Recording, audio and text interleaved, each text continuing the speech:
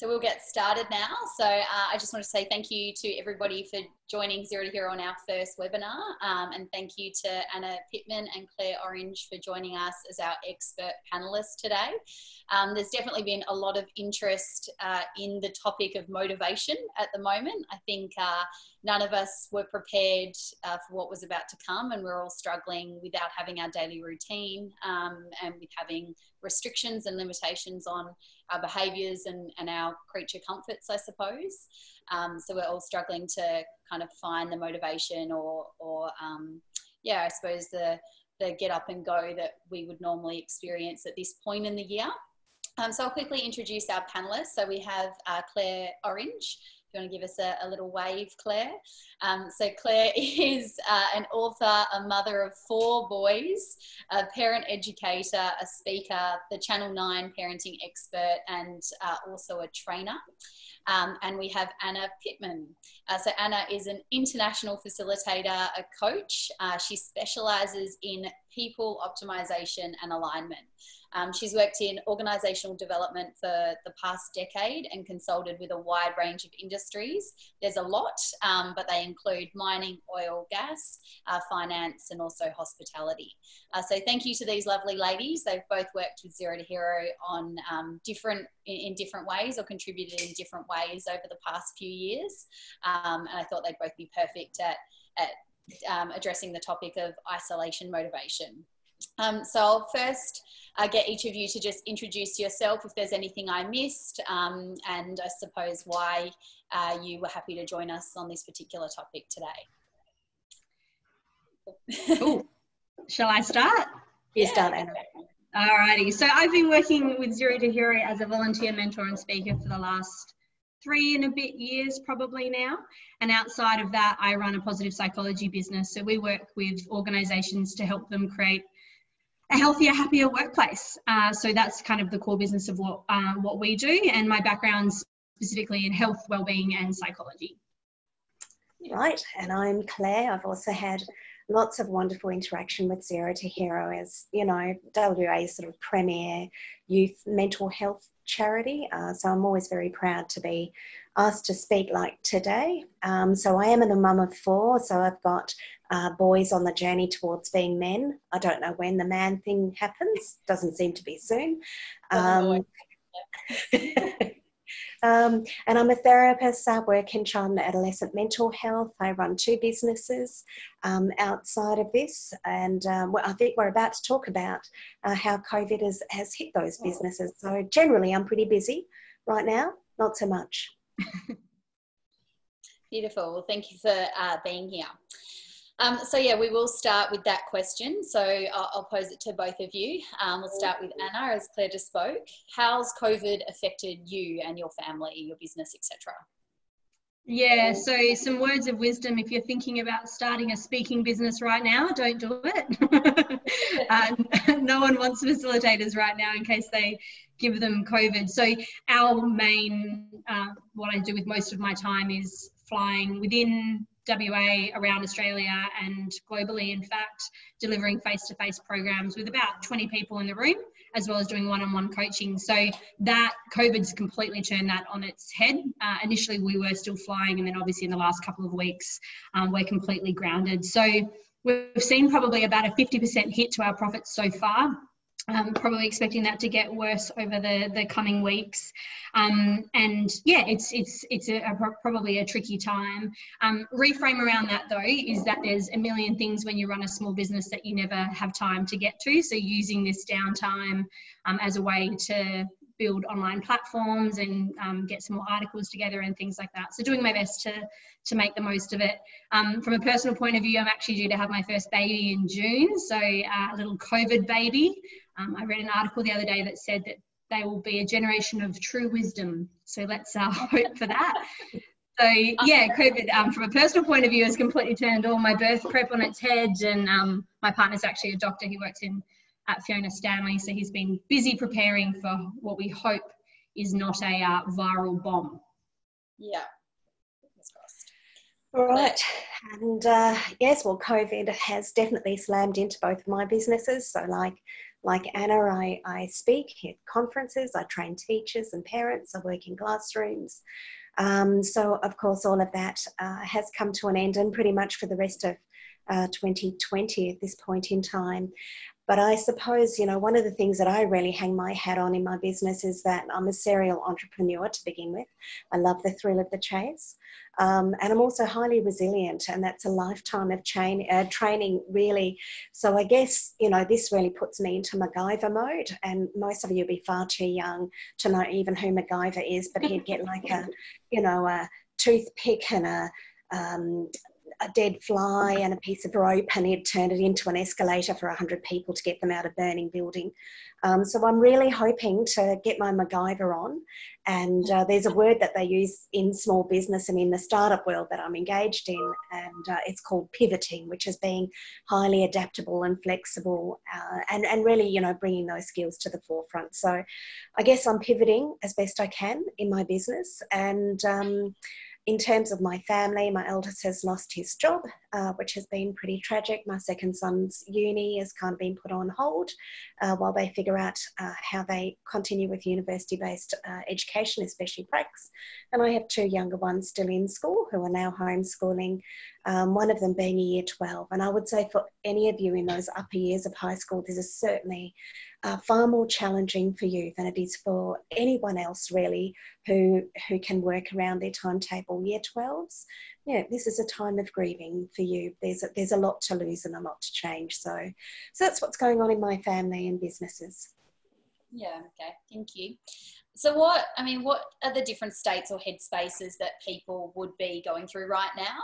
Um, I mean, it kind of feels like that's all we're talking about now COVID, unprecedented isolation, all of that fun stuff. Um, what's going through our heads? How's our heads processing this right now? Yeah, so from my point of view, the way that I explain it is just grief. Like we're going through the grief cycle. Um, we are grieving life as we know it. We're grieving our freedom. We're grieving our regular routine.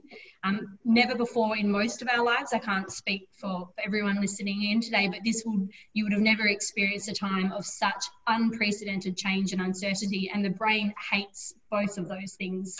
And so it's really okay to be sad and to kind of grieve that stuff um, for a while. I think the balance, though, is finding the balance between let ourselves experience that negative emotion, but then not letting it cripple us so we can't achieve anything over these next six months.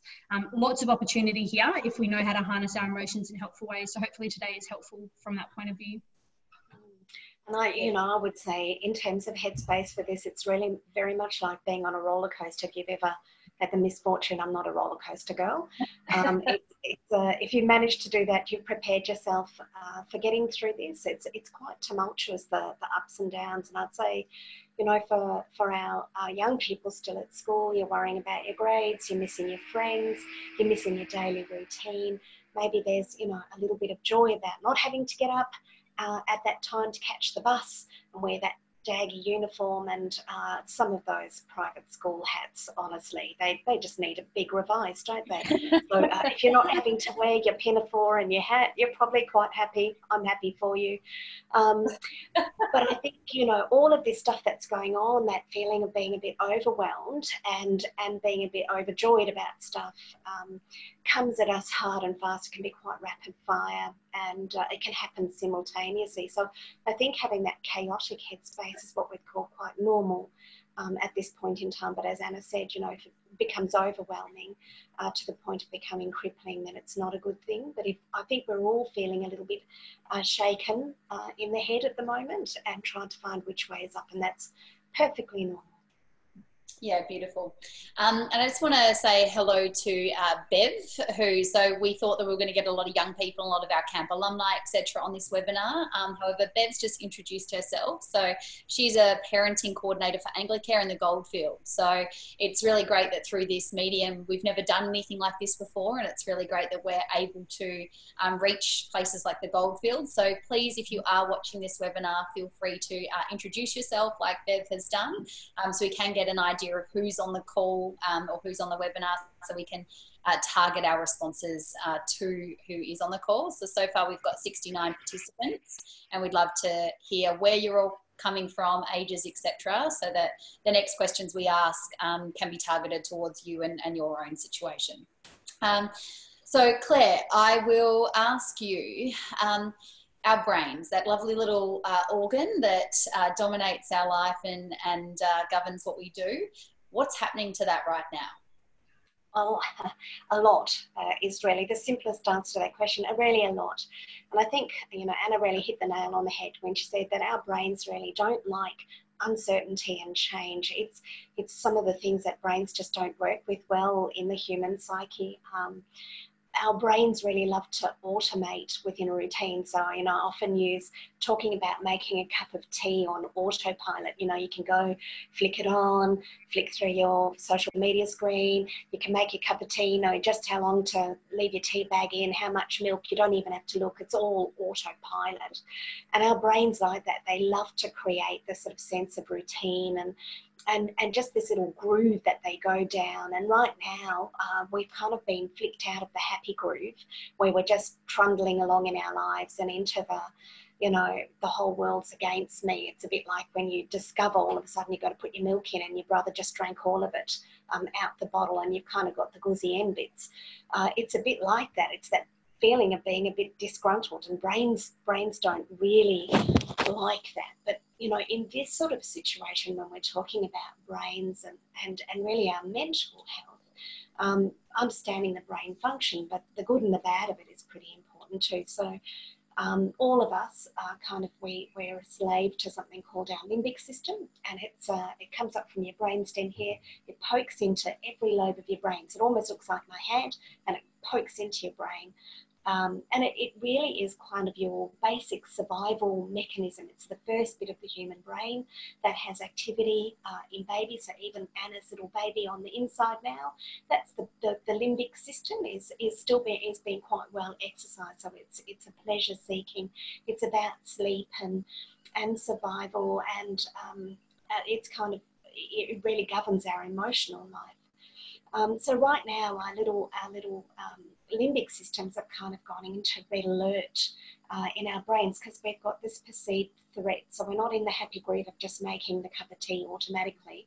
We've been hoisted out and we're into a much more emotional part of our lives. And it does take up a lot of headspace being in your limbic system. If you've ever been stressed critically about something like about being bullied or not having enough to eat or um, having an assignment that was due, that sense of, of impending doom uh, that's kind of your limbic system helping you to, to channel your action uh, mostly in a positive way, but sometimes it can go into overwhelm. So when, when our brains are like they are at the moment, really there's the big four stress responses that we talk about, and maybe you're experiencing one or some of these. So um, the, the, it's fight, um, so feeling a bit irritable and on edge, that's that's one of your Fs. There's that they're all Fs, uh, not the one that you're thinking. So there's fight, there's flight, which makes you kind of want to run away and hide in your little duvet um, fort in your bed and pretend it's not all going on. Uh, there's freeze where you just feel immobile, like you just can't do anything. It's all too much, and you just kind of, you know, sit and count your count your pencils on your desk. And the other one is fawn, is where we really need other people to make us feel happy where we're, we're outward reaching but in this environment of course that's a little bit restrained. So those are our big four stress responses um, in our brain. And i think that you know once we get into those sorts of red alert systems in our brain we start to do things differently. We start to look for threat maybe where it's not. And this is quite typical in the human brain. So you might find yourself obsessively watching the worldometer counter on um, coronavirus, how many people are infected and how many people have survived and how many people are critical. You know, that's your limbic system going, we're, we're under attack. Let's go out and, and, and seek information to keep us in this heightened state, to keep us safe. Um, and it's, it's kind of not useful, especially if you let yourself stay in that state for a long period of time. We've got to make sure that we're working with our brains to, to kind of calm them down because your brain impacts your body. So you might feel tense in your muscles and you might feel your heart racing and your thoughts spinning. Well, actually, that's all about survival. We need tense muscles if we're going to jump out of the way of the bus. Uh, if you're all loose and floppy and relaxed, you know, the bus is going to hit you and keep going. So, all these things like the racing heart and the, the tense muscles, they're all about keeping us safe and, and in that survival mode but if we stay there too long, we get a very big buildup of what's called cortisol, the stress hormone in the brain. And a little bit of that's all right, it's called normal, but a lot of it can, can really change the way you think. So Anna's going to cover some of these brain chemicals um, in a little bit more uh, detail for you, and I think they're important. I like to remember the acronym DOSE. So, um, dopamine is one of your brain chemicals. That's your focus and attention chemical. We need a lot of that. Oxytocin is your relaxed chemical and your love hormone. Um, you've got S, which is your serotonin. So serotonin is your happy chemical. Um, and sometimes when your limbic system is in overload, those sorts of chemicals don't come into play. So it's hard to relax, hard to concentrate, hard to feel connected, hard to feel happy. And then your E is your endorphins. And we get that um, as a as a kind of a feel good. That's the the hormone that runs through you. But I know Anna's going to cover them in more detail. So basically, limbic system is on. We've got to try not to keep it on for too long. We've got to get into that rational, relaxed thinking as well. And we'll talk about how you do that and how that impacts your motivation too. Awesome. So I've seen a few um, memes and things going around all over social media of uh, the Hunger Games and tributes and things like that. So it is a little bit normal right now to feel like we're all in the Hunger Games or some variation of that in reality. Well, we're seeing it, aren't we? I mean, we're, we're out there, we're dueling for toilet paper. Um, when, when you see humans behaving in survival ways, it means that anxiety is high. You look at that, and I know people are being quite um, negative about it, but actually, what we're looking at is quite normal, anxious human behavior when they feel like they have to survive. Not sure why it's tied to toilet paper, but anyway, um, it's also tied to baked beans. That's good. Let the toilet paper go. Beautiful. Um, so Anna, we did just say that you would talk about the brain and um, and all of the you know the hormones that we should be experiencing or what's going on. So do you want to elaborate on that? Where does where does this motivation actually come from? Why are we not feeling it right now? Yeah, so motivation ultimately comes from one of the neurotransmitters or brain chemicals that Claire was just talking about, um, being dopamine. So dopamine is the, the hormone that's actually released by our brain when there's a reward within reach. Uh, and this is really important because sometimes we confuse dopamine with being our pleasure hormone, but rather it's the hormone that encourages us to move towards things that make us feel good. Um, and the interesting thing about our brain is that the reason why we've got such a primitive fight or flight response is because the brain's still really quite primitive. So they think the last upgrade that the brain's had was about 45,000 years ago, and that was the, the prefrontal cortex or the conscious brain. And that's the part of the brain that separates us from all of the other uh, mammals.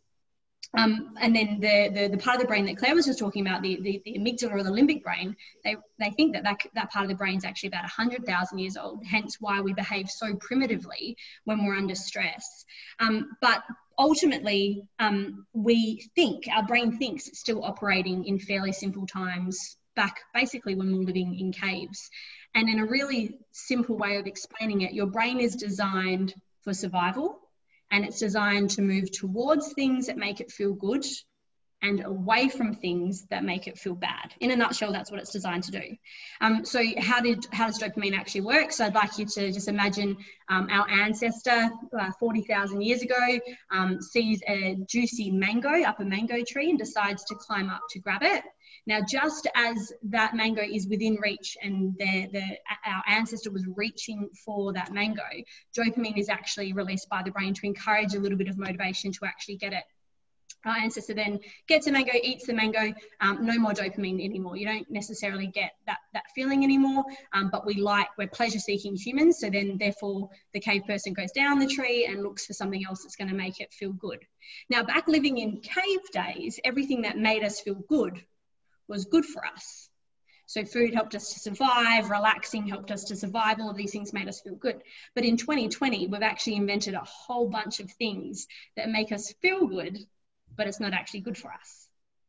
Like sugar, alcohol, uh, social media, gambling, gaming, all of these things make us feel good, but they're not actually good for us. Uh, and the key difference between those things and the mango up the mango tree is back in cave people days, the rewards were scarce, whereas now the rewards are always available.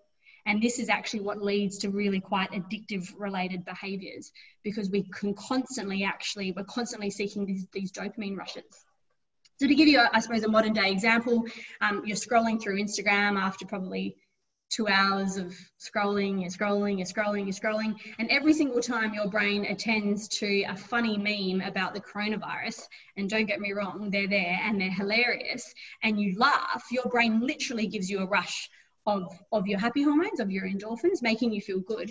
And you actually start to convince yourself that Instagram is actually really good for me.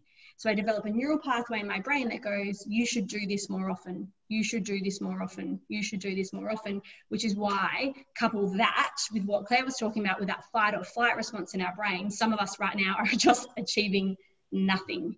So in this particular webinar, we'll talk to some of the strategies around how we can actually harness dopamine in more constructive ways. Yeah, beautiful. And so, um, so Claire, why are we actually finding it so hard right now to stay on track or to be motivated, or why is it so easy right now to procrastinate? Yeah, absolutely. Good questions. Well, I think, you know, a long time ago in, in psychology, we used to talk about the seven plus or minus two rule. You know, that, that was your optimal functioning as a human being. That's what your mind could hold, that, you know, your capacity to manage um, incoming information, sensations from your internal world. It's not it's not finite. It's not infinite. You know, it's it is finite. There's little. There's just this much that we've got to work with. Um, so we function optim- optimally when there's enough stimulation. If we don't have enough stimulation, we get lethargic and and we kind of can't be bothered. And if we have too much stimulation, we kind of shut down and we just feel in overwhelm because the brain is just taking in too much and that limbic system gets primed to say i've just i've had enough and i'm dialing out. So i think right now all of us on on planet earth are coping with a lot. You know there's a lot of information about the virus out there and there's a lot of misinformation about the virus. I think you know anna was saying right at the beginning the only thing she listens to or reads is anything that comes out of the government and comes out of who? The world health organization because otherwise it's just this um, assault. So there's lots of information about job losses and what people are doing and school closures and um, how you know your routines and expectations are changing. And I think it can get to the point where you feel like you're in overwhelm. And in my home, we've got seven of us living in one house. We're living in each other's pockets. We're here all the time. Um, and and while that's kind of lovely, um, that was in case my children are watching. I'm loving it. Um, it's actually kind of stressful. Like now, I'm just hiding out in my bedroom, and I feel like I've got babies again, where you have to go and hide in the toilet to eat your chocolate. Um, so you know, there's there's a lot there's a lot on, and that can kind of really dent your motivation to get things done. And also, you have to be very um, internally motivated because there's no one standing over you. There's no teacher saying if you don't hand that in by Friday, you know, we're going to halve your mark by fifty percent. So there's a lot of requirement to to drive this stuff internally so I think, you know, the procrastination out of that comes out of there's a saying that's um, analysis paralysis. You know, when you give yourself if you if you've decided that you're going to go and buy a new bike and you go I'm going to go Gumtree and I'm going to look at all the bike shops and I'm going to see what's on eBay. By the time you finish, you have so much information you don't buy a bike at all. Um, and I think it's like this. I think there's so much coming in that that the brain can kind of just go into shutdown. And when we feel those big four stress responses, you know, the cortisol rises and the limbic system is doing its its normally very important job, um, it can kind of put us into this feeling that we're in we're in absolute overwhelm. And then you can start doing things. So procrastination is usually not non-activity, it's ridiculous activity. So instead of doing your HASS assignment, you'll go, if I if I organized all my post-it notes in color and size order, um, it'll make my HASS assignment so much better. And the end of today, that's all you've done. HASS assignment still not done. So procrastination is kind of trying to get the things done that make you feel a bit better without doing the important stuff. Um, and and it's almost like a self-help thing. You're, you're, you're trying to reduce the overwhelm, but also do a little bit towards activity, but it's not useful stuff. So that stress hormone that I've talked about a couple of times Um, it, it's uh, cortisol, so um, above our adrenal, above our kidneys, we have little adrenal glands. They shoot adrenaline into the system when they hit the bloodstream and they head up towards the brain. We call it cortisol, which is our stress hormone.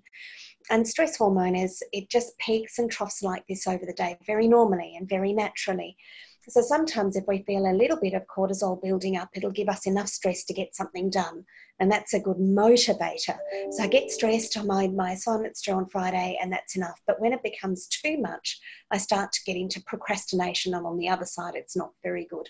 So this is a normal peak and trough in a day. It's very normal. We all go through it when we're under duress, like we are at the moment, we're stuck in our homes, we're without our social contacts, we're having to do this live stream, me from my bedroom, Ash from a furniture shop. I don't know, she just broke in.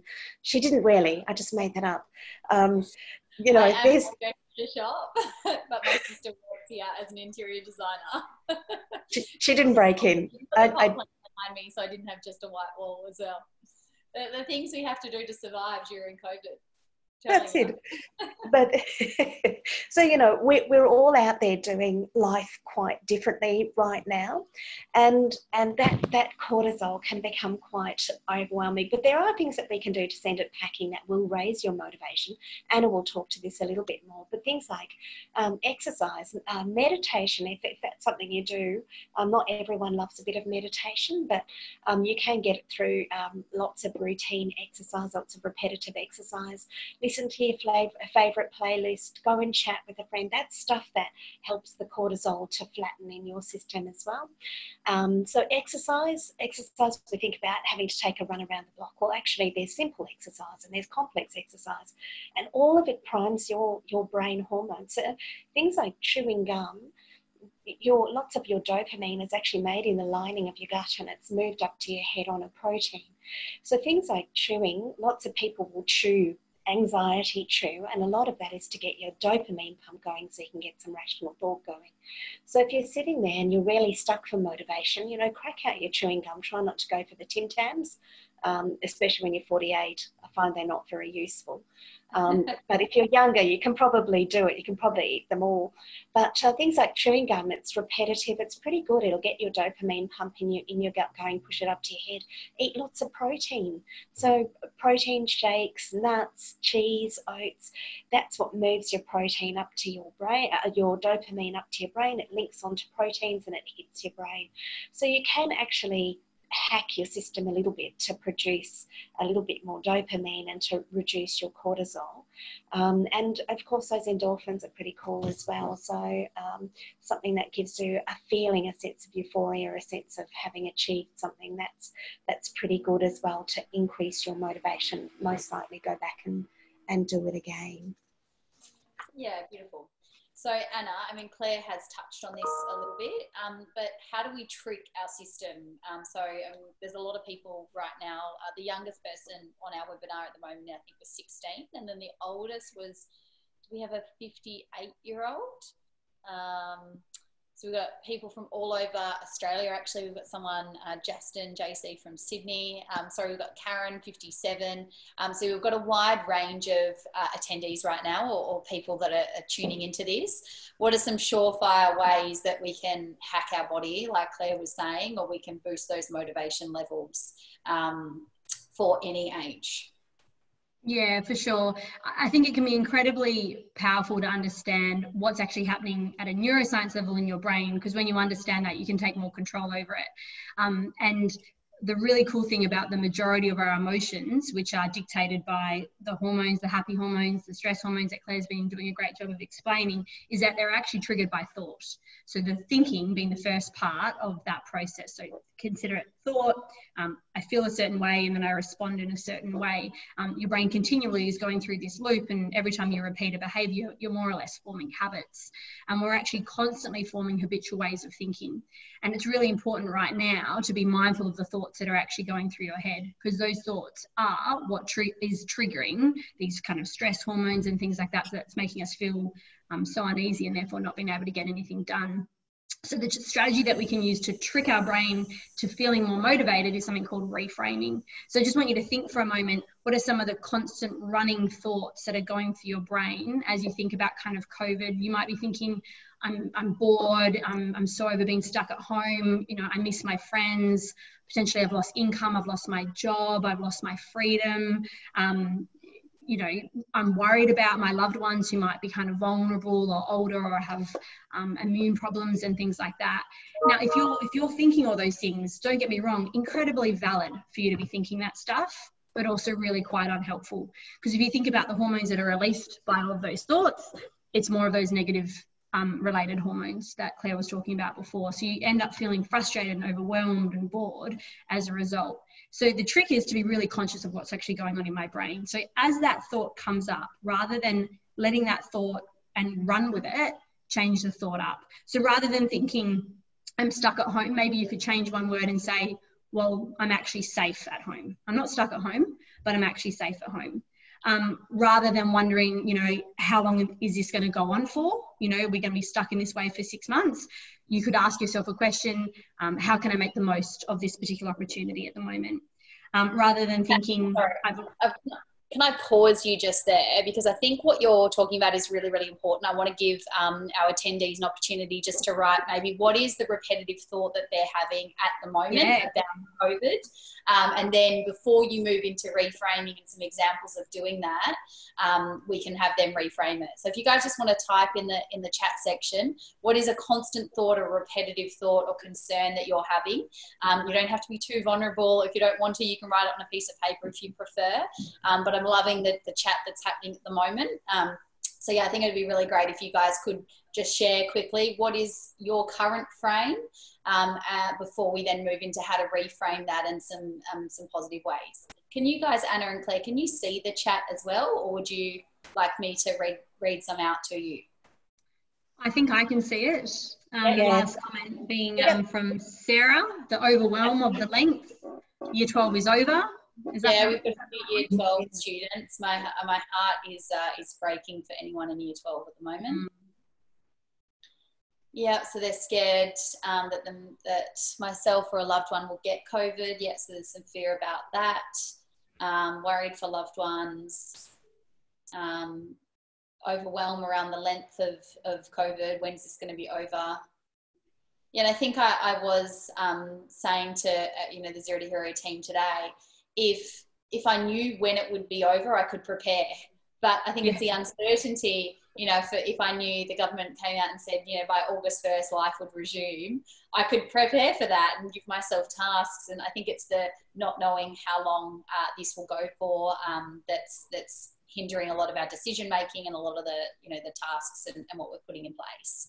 Um, so people are saying they don't know uh, if they'll get into uni, um, worried about not having work. So yeah, there's a little bit of job loss um, and you know feeling the financial worries and burdens that come with that. Um, someone has lost their job, uh, concerns about work, etc., etc. So yeah, I just wanted to give uh, everyone that was tuning in an opportunity to, I suppose, understand what what is the story you're telling yourself or the thoughts you're having before then Anna um, goes into how we can reframe that into a really positive light.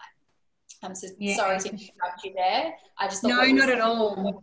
And yeah, and, and I um, yeah, and I just want to thank everyone for being so honest and vulnerable in, in the examples that they're giving. And and I do want to acknowledge that they're all legitimate thoughts, they're valid thoughts. Um, that's the reality right now.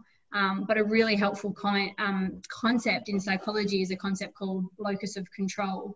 So we tend to operate from two different perspectives. We can either be internally locused or we can be externally locused. When we're being externally locused, we, we believe that we're not in control and we think that our external circumstances are driving the situation that I'm in right now. And I would argue for a lot of us, it is very easy to go into that headspace right now because there is so much outside influence that's actually influencing us in really negative ways. But the alternative way of looking at it is to be internally locused and to recognize that the only things in life that you ever have control over is my thinking, is my emotions, and is what I do, what I do and say, my responses. This is all we have control over. So it's about two things. It's about acknowledging, well, what are the brutal facts right now? And the brutal facts are that there is a global pandemic um, impacting on every single person on this planet. And within Western Australia, within Australia, what does that mean for us? It means that a lot of us have lost our job, that we're at home, that we can't leave our home, that we've lost a sense of freedom. And there's a huge amount of uncertainty around what it means for my exams, for university, for my life in the next six, 12 months, even 18 months if our economy doesn't bounce back the way that we want it to. So it's, it's okay to experience those thoughts. But it's when we ruminate on those thoughts that we end up feeling completely suffocated and we can't do anything about them. So, the first part of the exercise is acknowledging how you think and acknowledging those feelings, letting yourself grieve that stuff. And the second part of it is, well, how can I actually think about this in a slightly different way so I feel differently, so therefore I can actually get stuff done? So all of the, the, the, comments that are coming through that, you know, they're fantastic.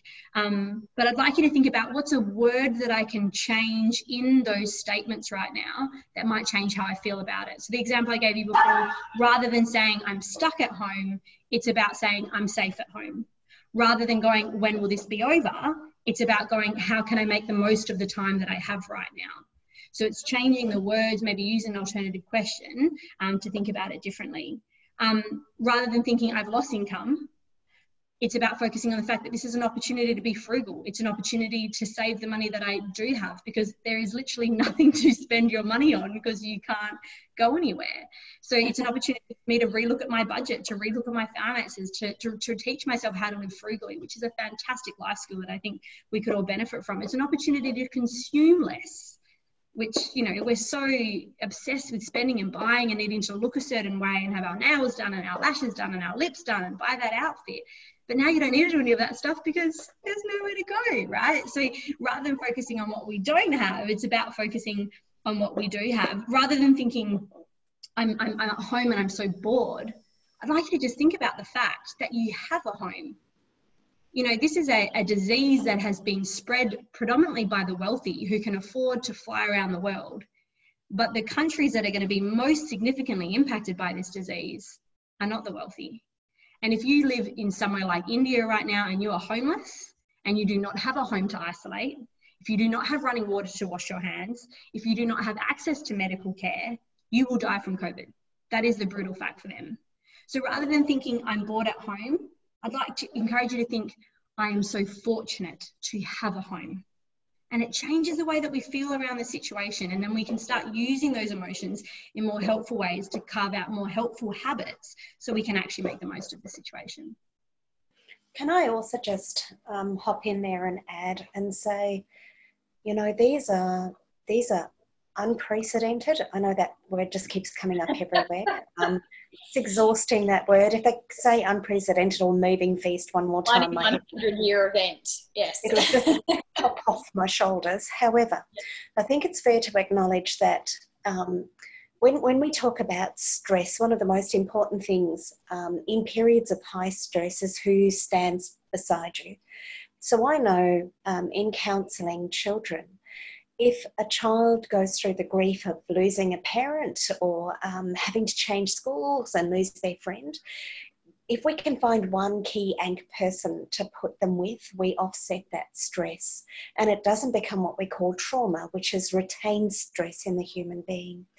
And this situation means that actually, I saw someone say before, you know, how do I reframe my deteriorating mental health? Well, actually, you probably are under resourced to do that for yourself right now.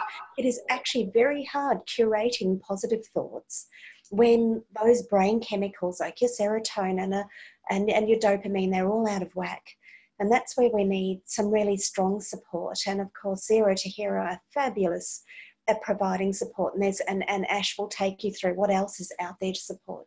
But I absolutely know for one, I'm, I'm here and I'm sure we can set um, set up um, any sort of communication channel. If you're really struggling and you need a shoulder partner who's not a work accountability partner, but who's actually an emotional accountability partner, there are people who have got your back.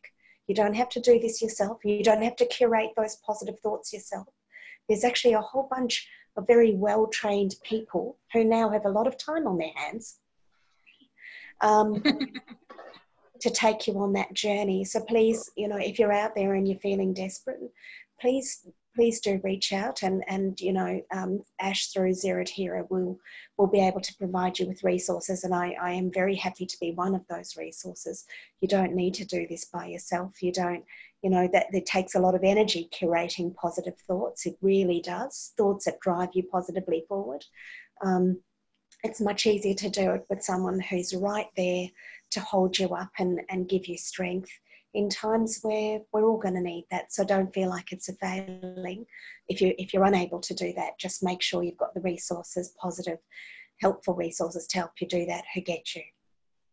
Yeah, beautiful. And to the person that did ask, um, you know, how can we support um, or reframe um, how can we reframe a deteriorating mental health during this this component? I wouldn't suggest reframing that at all, and um, I'd love to chat to you after the webinar and make sure that you're well supported. And Claire's also put her, her hand up um, to support support that person as well.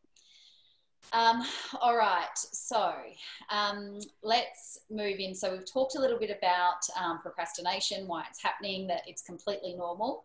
Um, we've also talked about some tricks or, or hacks around how we can um, trick our brain into feeling motivated again. Um, but first, you know, I'm always big on acknowledging what's so and accepting what's so. And so I thought it was really important uh, for our attendees to, to hear from you, Claire, or even if Anna wants to add to it at all. Should we be forcing ourselves to get back into a routine? Um, or if not, um, when should we give ourselves that nudge? You know, what is the grace period of, of this? How long uh, should we allow ourselves to just be with what, what is and all of the challenges that, that we're facing right now? Right. Um, and, and this is something that actually the three of us talked about a little bit before. Um, I would consider myself to be a very resilient person, having got through um, a lot uh, in my lifetime. Um, and yet last week, uh, it was like I'd been squashed by a bulldozer. Um, and then a truck had gone over the top of that. Um, and that's not my natural state. I don't do that well. So I do think the grief that Anna was referencing at the begin with, beginning, grief requires space. That's what it needs. Grief is actually hard work and it requires energy. So I've noticed lots of comments on there and it breaks my heart. I've got a year 12 too. How do you positively reframe missing out on year 12? Well, I'm afraid there's not a lot that we can do in this situation. All I'd, all I'd encourage you to do is think about who are people in our not so distant past who gave up a lot for us to put us in this position that we can stay home and protect each other and take more of a global perspective. You are exactly the right generation to be taking a global perspective far more than anyone my age. You know what's happening out there in the world. Know that this too shall pass and that we will do the best we can for our year 12s to make this as extraordinary as we can under extraordinary circumstances. However, in terms of pushing yourself into your routine, one of my favourite things to say, and my boys' least favourite things to hear, um, especially if I apply the mummy nagging tone, is the sooner you start, the sooner you finish. And it's true about this. Actually, we as humans automate things very quickly, and I use the word habit. Uh, we love to habituate because it makes life easy, like making that cup of tea or riding your bike. You don't have to think about it, you just do it, right? It's just a series of steps. So if you allow yourself not to stay in the routine of being productive and taking some action steps every day, you will automate to that. It will get harder to get out of bed. It'll be harder to find your positive mindset. It'll be harder to do your reframe. So I would really encourage you is to allow yourself a period of time to grieve and to say this isn't fair because it's not. It's not fair for any of us. Not it's not fair to have lost a whole year's worth of income. It's not fair to have a year 12 at home. It's not fair. That's, that's just the way it is, right? So we're not going to say it's fair and positive thinking will make it all fabulous. But actually, what it'll do is when you when you make that part of your daily practice is it makes it better and you can do mm. it in lots of ways and and anna's so right it, it, feels very simple but it's not actually your motivation does come from really working hard on your on your thinking patterns. So I would say if you've got yourself into a funk, you're sitting in your jammies and you're you're watching that count tick over and and you're just feeling a bit sorry for yourself, get over it. Do it now, right? Get out your jammies, get dressed. Even if you just get the top half of you dressed, no one will ever know what's on my bottom bottom half. Could be nothing. Could be my jammies. Could have pants. None of you are going to know. Um, but I do make myself get dressed and do my hair. Um, and I learned that actually when I was pregnant with the boys, uh, not all at once, obviously, I had them one after the other like a rabbit. Um, but if you let yourself sit there in your jammies, then you just, it's hard to feel motivated in your pajamas. Your pajamas say to your brain, relax, don't worry about it. So I really would like you to think about getting up, getting into a routine. Think to yourself, you do six hours a day of school, you can nail this in four hours max, right? Get in there, just get it done. Follow your timetable. Don't don't make it too tricky for yourselves. And don't give yourself too much time to wallow in the misery of all of this. Really try and push yourself into a routine. And then if it doesn't work, uh, it doesn't matter because there's always tomorrow doing the same thing that we've done today, but at least have a really red hot go to get something done today. So I talk about one degree of change. If anyone's ever been counselled by me, you would have heard this. Um, a great one on one degree of change. That's all we need to make, right? To be going in a completely different direction to the one we're going in now. So, what is your one degree of change? You don't need to be nailing everything on your to do list. Do one thing. Put in your house assignment, get it done. Um, decide what you're going to do. Read one page of that ridiculous book that you've been given for lit. Um, answer one paragraph. That's your one degree of change. Uh, if you didn't go for a walk yesterday, go for a walk today. And you don't have to like bang out a 5K walk. You just have to do the block. Do it in your pajamas. No one cares. Um, just do one thing differently today and make that promise to yourself that you will start to get this steady routine and momentum because once you get the little dopamine hit, your brain likes it. It'll do something else because it quite likes dopamine. Uh, if if that becomes gaming or going fishing in the pantry or you know standing in front of the the fridge like it could possibly be an ex girlfriend, um, you know, go and choose something that's a bit a bit healthier. Just there we go. Someone said I cleaned out one drawer. Cooking helps. Do a thing, one degree of change. Just do one thing a day, and that's more than plenty in these troubling times. I like Emily's response as well. So she's hacked uh, a school day. So she starts at 5 a.m. and therefore she's done school by lunchtime. She's got the rest Perfect. of the day, which is, uh, is pretty cool.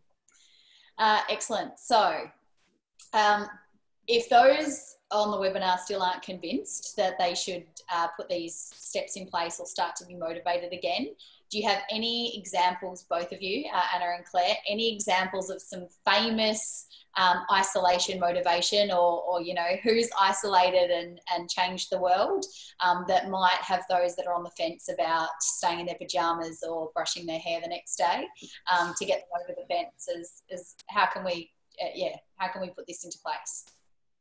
Yeah, and, and look, there is, and I think we saw this with the, uh, the with the bushfires a couple months ago. Just people coming together and achieving really cool things in really hard times, um, despite you know some really significantly challenging situations. Um, and I think I saw a, a comment come up um, briefly before from one of the participants who said that there's a they're following the, the kindness group on Facebook. I forget what it's called, but um, adopt a healthcare worker. There's the adopt a healthcare worker and there's a few. No, it's like examples of kindness during COVID, and it's like a, it's got like 500,000 people in the Facebook group now. And it's just people sharing examples of like wins in isolation or people doing lovely things in isolation.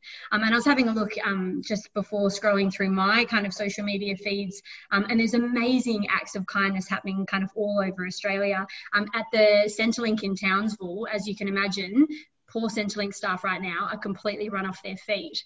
And so what their community did is overnight came in and just with chalk wrote this beautiful thank you mirage on the cement. So when the staff came in the next day, they had this beautiful thank you gratitude moment for all the work that they're kind of putting in right now. Um, I've heard uh, beautiful examples of people paying for the next 10 coffees um, for people who might be suffering a bit of hardship right now, but still want to be supporting their local businesses by, by buying a takeaway coffee, um, but maybe not being able to afford it, and someone kind of paying for the next 10.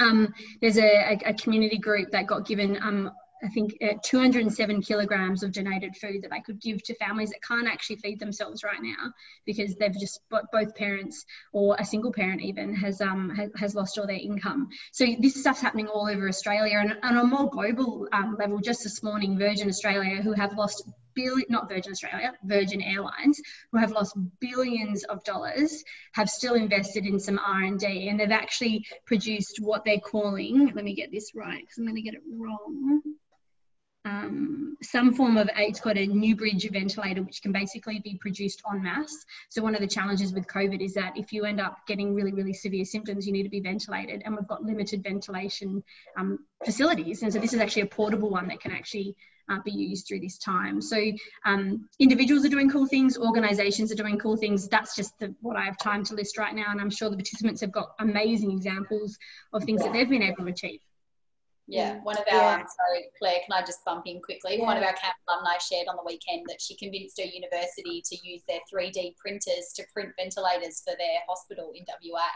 Um, and she's like, well, you know, we're not using them for anything right now. No one's attending class. And so, yeah, Paul has uh, made that change in the last week, which is really, really awesome. So, yeah, and Bundaberg Rum have donated ethanol to be used as alternatives for hand sanitizers. Sounding great. Where do I line up? Multi-purpose.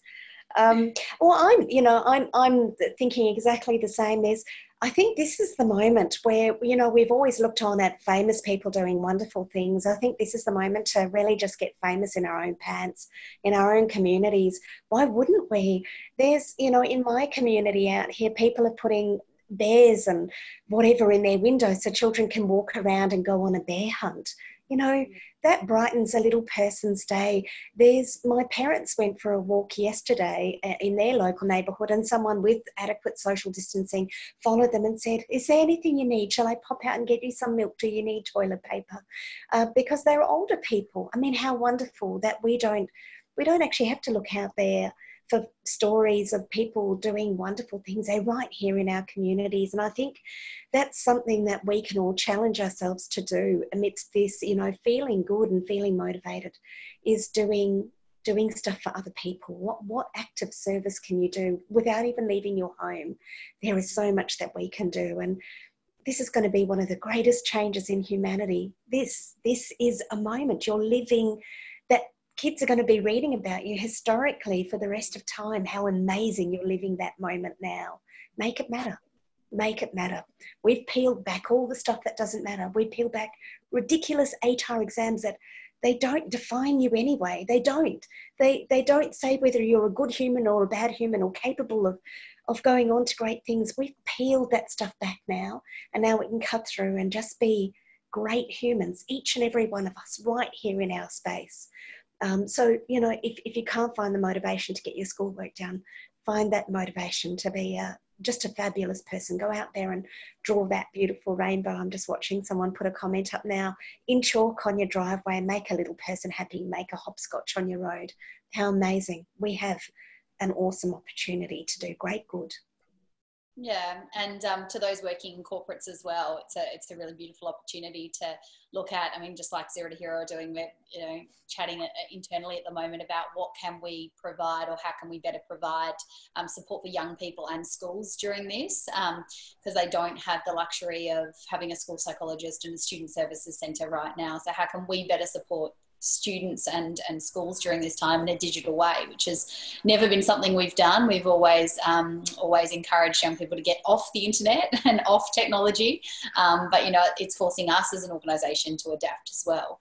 Um, so yeah, I am looking forward to seeing in a couple of years' time what isolation, uh, you know, enterprises have changed the way that we do business. I mean, I, read the other day that Uber and, and WhatsApp were both created during the GFC.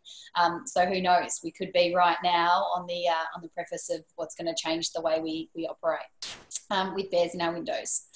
Um, so we are coming towards the end of, of the webinar. So uh, I'll just get both of you to, um, before we throw out to some questions um, from our audience, succinctly, step by step, um, how do we improve our motivation levels? So really, you know, really easy easy to follow. What are some steps we can take, or some simple tools and techniques um, that our, our listeners and, people watching uh, can can put into place tomorrow, or tonight, or right now um, to improve their motivation levels? Yeah, for sure. So I think um, step one would be around setting yourself some form of small 1% goal or one thing, whether it is getting out of your pajamas by a certain time each day, but set yourself small milestones. And once you're kind of feeling a little bit better about your, where you're at in your headspace, it's about establishing a routine and doing your best to stick to it and actually rewarding yourself when you do. So I've set myself a working from home schedule, but when I actually look at my day, I'm actually only being productive or working working for like four to five hours of, of that eight hour normal day. And in there, I've got like a well-being hour. I do some yoga. I go for a walk. Um, I've got certain goals that I do each day in terms of um, three entries in my gratitude journal. Um, random acts of kindness. I have to do one nice thing for someone anonymously, and they can't know that it's kind of come from me um, supporting a local business is another goal that I've set for myself to do each day. And what these things are is they're like little dopamine moments in your day to kind of keep you focused and keep you motivated through the course of your day. So, you know, ask yourself, what do you want to achieve out of this period? And then set yourself some realistic goals, depending on where your headspace is right now. Um, and in that, kind of inject these little dopamine moments. That would be my advice. Yeah, mm. beautiful. Oh, you're a lovely human doing those things, Anna. Look, I'm, I'm going to agree. I think, you know, we've all been told to kind of plan big for our life. Well, I reckon we pare it all back and plan small. Plan, plan small. Just, just you know, do something small and, and feel really good about yourself. There's no one there to pat you on the back. Do it yourself. Um, get yourself an accountability partner. We're well connected online. Go and find someone who can say you can you can check in with. And there's lots of apps that do this as well. So go and find someone and say, look, these are the things that I need to achieve today or this week, and then check in with each other. It it really works. From someone who should not admit this went to Weight Watchers. I'll just put it out there. Um, you know, one of the biggest success factors is that you have an accountability partner that, you know, if you pretend that you've lost a kilo, but actually you've put on three, uh, there's someone there to go titch titch. Find that person. Um, probably not at Weight Watchers, but just in your local community. There's lots of people who'll help you to stay on track.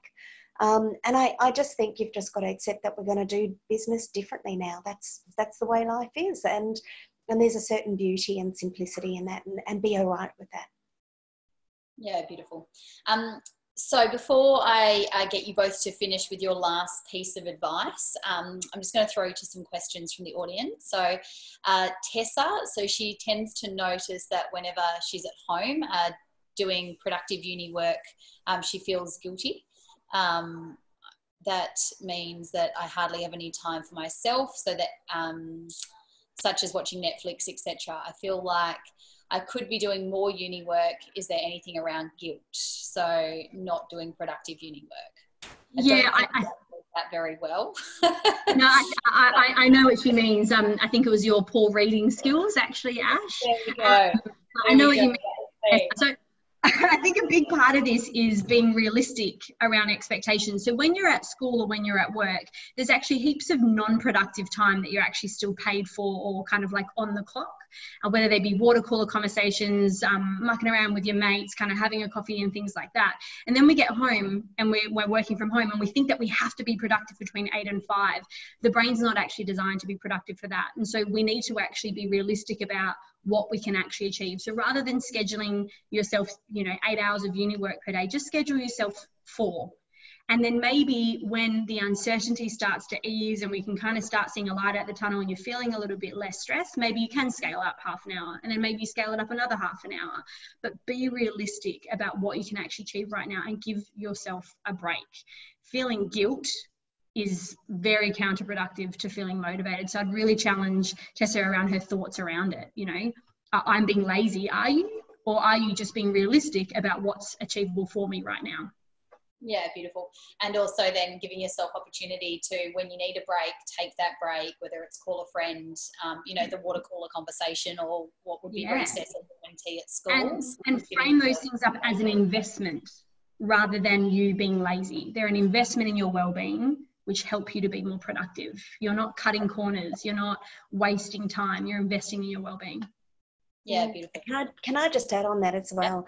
I think you know i think i always i always take emotions to be my little personal messages. So sometimes my I, I, I decide i'm going to ignore those messages. But guilt is one of those things it's a bit like anxiety. People talk about anxiety like it's terrible. Overwhelming anxiety? Yeah it is. But actually when you're feeling anxious you tend to meet deadlines better.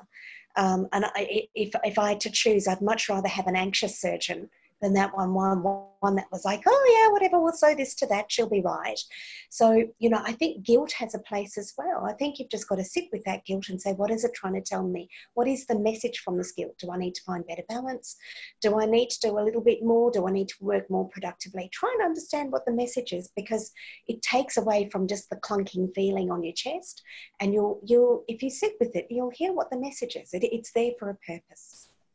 Yeah, beautiful. And um, and I will. We have touched on Year 12s a little bit, but we've got a question from Ella. Um, we know it's difficult for Year 12s. We know that we're not sure what's going to happen with ATAR um, at the moment. NAPLAN NAPLAN's cancelled those, so the other year groups can celebrate. Um, but what is a piece of advice that we could give to Year 12s around how they could make the most of these times? Yeah, so from my point of view, my advice is probably um, applicable not just to year 12, but I, I suppose it's um, focusing on acceptance. So I grew up around the Alcoholic Anonymous Fellowship, and for anyone that's familiar with that fellowship, there's a serenity prayer that is very common in that. Um, and you may be familiar with it. It goes like this um, Grant me the serenity to accept the things I cannot change, the courage to change the things I can and the wisdom to know the difference. And I think that's really important for our year 12s right now is just acknowledging that there's a lot of stuff that you do not know and it is uncertain and it is unfair. But what can you do? What can you focus on rather than dwelling and brooding on the stuff that you've lost? It's about doing your very best to be opportunistic with this time that you have if we keep doing what WA is doing right now, which is just being epic humans and doing as we're told, go Australia, this may not be as long as we think it is, which means you might very well be at school sooner. And if you've used this time to be productive, you know, you you you will come out the other side of this maybe better than you would have if you're stuck at school and having to sit through all those boring assemblies all the time, wasting time.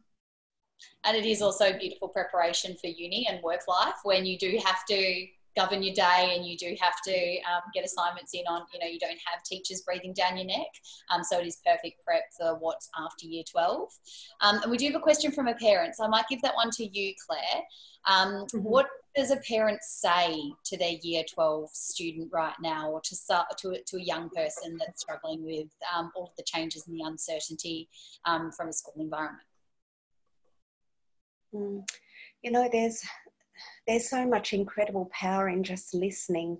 I don't know that we have to say things. We, you can't make this better. It's, it's, you know, it's an actual grief. This is a loss. They've watched other year groups for 11 or 12 years above them graduate and, and have muck up days and, and get to wear their, um, you know, their leavers tops and their leavers jackets and they're missing out. And that's just the reality so i think just become a really deep reflective listener with your with your year 12 that's what i'm doing.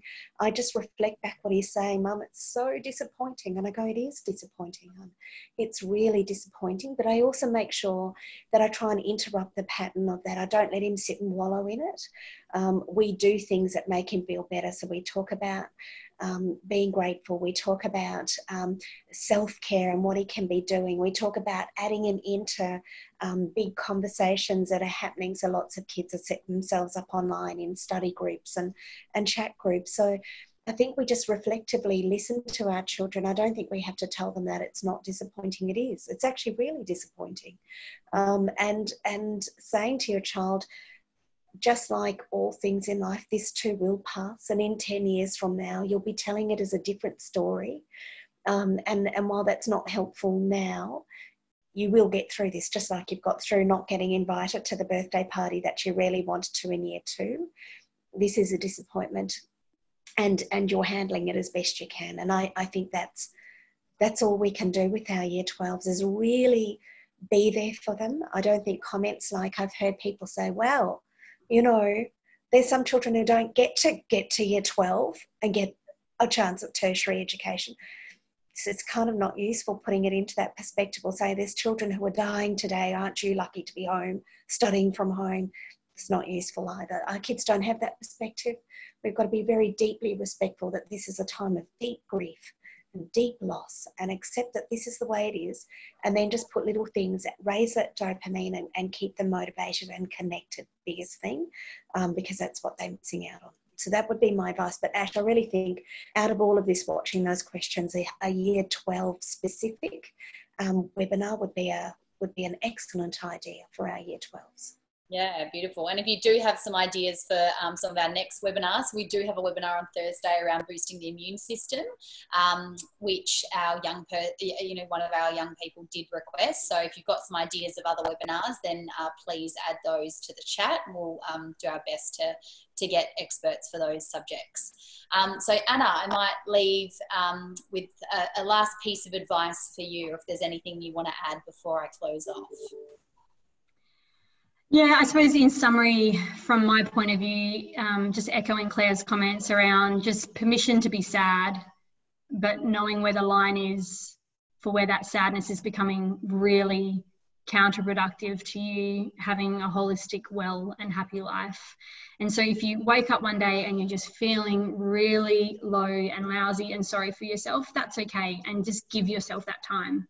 Um, but it's about making sure that you're taking small, achievable steps that are moving you in the direction that you can come out the other side of this being proud of yourself rather than looking back at it as the worst months of your life. Yeah, beautiful. Yeah, um, Claire, was there anything I, you wanted to add? Think, um, I, I would say for me, the most important thing for our young people watching is to stay connected to your friends. You might be isolated physically and not be able to give those lovely big hugs, but you're connected online. And while most parents have been horrified about how often that little uh, device is in your hand, and by that I mean your phone for our boys. Um, I, that, I know, Tara, sorry, terrible joke. Mother of teenage boys. There's things that go in hands that shouldn't be there that often. Sorry, Ash.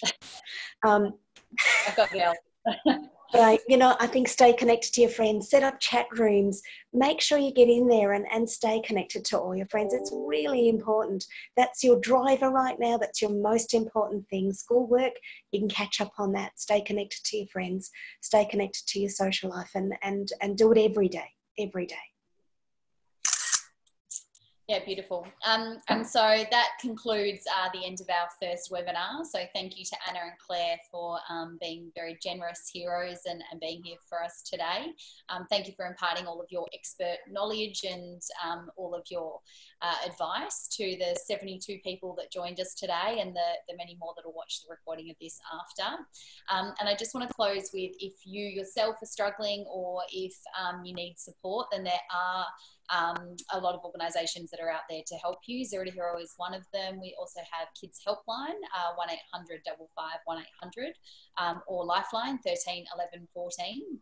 Um, and you know, one of the silver linings of what we're currently going through is that the Australian government have highlighted mental health as a, a, massive area of concern during COVID, and so they're literally piling billions of dollars into um, the sector. We're not getting any of it for those that were, were sitting there um, secretly hoping, like uh, like some of the Zero to Hero team. Um, but Beyond Blue have been given some uh, a, a, large amount of funding, and so has Headspace to develop online portals um, and also information for young people to engage with. Uh, and uh, Headspace will include some parenting and, and teaching information. And then also reachout.com have some really great resources and some information and some advice um, to help you get through this period of time.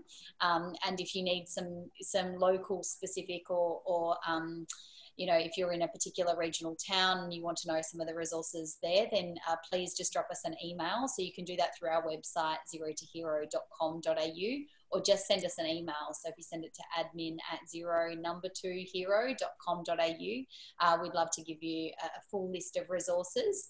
Um, and fortunately, as well, you can get the help you need from isolation right now. So there are GPs and, and organizations that are doing, um, you know, virtual virtual um, consults at the moment, and um, and so are psychologists and counsellors. And Claire is, is also a, therapist, and Anna works in the, in the organisational um, side of psych. Uh, so yeah, there's two amazing women on the phone right now, or on the uh, webinar right now that are there to help. Um, if you want some geo-specific locations and resources, please get in touch. Um, otherwise, there's your Kids Helpline, Lifeline, um, reachout.com, uh, Beyond Blue and Headspace, which have some really great tools uh, and are there to support our young people and, and parents as well. Um, so please don't suffer in silence. Please get the help that you need and the support that you need. And we um, would love to, to support you in getting that if you don't feel like you're ready to. Thank you to the, the 72 people that joined us today. Thank you to Anna and Claire. Um, I hope that tomorrow you can get out of your pajamas uh, a little bit earlier and, and go for that work or walk or, or start exercising. Um, and also to, you know, get the, the motivation to, to get through your task list tomorrow. Thank you very much. And uh, hopefully we'll see you at our next webinar. See you later. Thanks for having us. Thanks, guys. Enjoy your night. Bye.